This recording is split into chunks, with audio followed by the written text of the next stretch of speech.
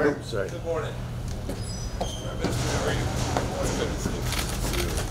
Thank you. It's great to do that. Ambassador, long time. Good day. Big.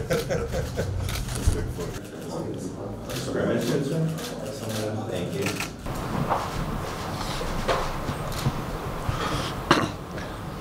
Uh, Secretary Pompeo, welcome once again to, to uh, Jerusalem.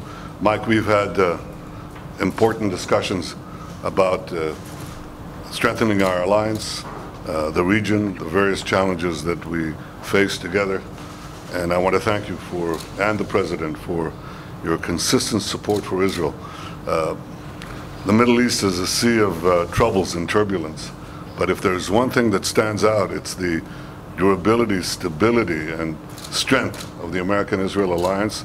We talked about uh, making it even stronger, and I want to thank you for uh, your consistent support.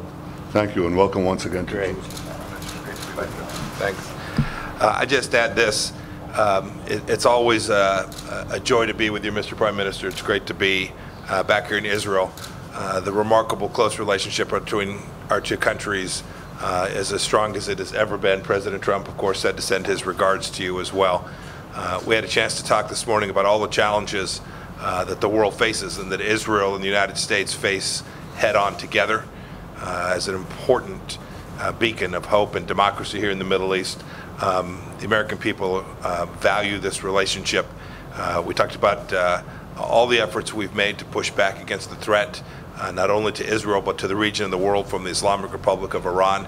And we, we, we shared our ideas about how we can ensure Middle East stability together and how we would further our efforts to jointly combat all the challenges that the world confronts here in the Middle East. And we appreciate all that you and your country does to assist America in keeping its people safe as well. Well, thank you. And Mike, as, uh, uh, since you're visiting here on the holiday of Sukkot, uh, we sit in uh, the Sukkah, which is, uh, uh, it's called the Feast of Tabernacles, and uh, we always remember what it was like when we didn't have a permanent home. So let me show you a Sukkah, That'd be great. and then we'll let you continue on your way. Thank you.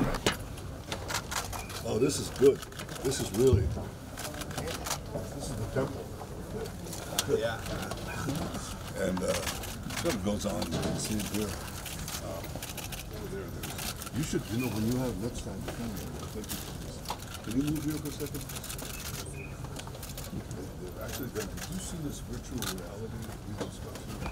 Yeah, I was just there two days ago. Yeah, it's fantastic. It's fantastic. Where'd you go to see that? It's it's just a, it's right by the wall. There's a, you put on a headset and I did it with Bolton. I took pictures of, of us and uh, as Arif said, uh, these two guys were always blind and this proves just proves it. So we sit here and we have, we have our family meals or we have uh, visitors, uh, we, we sit in the sukkah. You're supposed to be able to, the, the, you, when you put the stuff at the top, it's supposed to be um, porous enough so you can see the stars. The one problem is what happens if you get rain.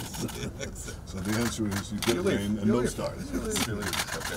But this, this is a, this is a typical sukkah. And when my kids were young, I used to draw uh, drawings for them. So uh, they still have it somewhere. Uh, and that's how we spend our holidays. special. Welcome to Thank you very much. Thank. Mr. Prime Minister, do you have any response to the questions. ceasefire agreement? No, thank you. Thank you. Thank you.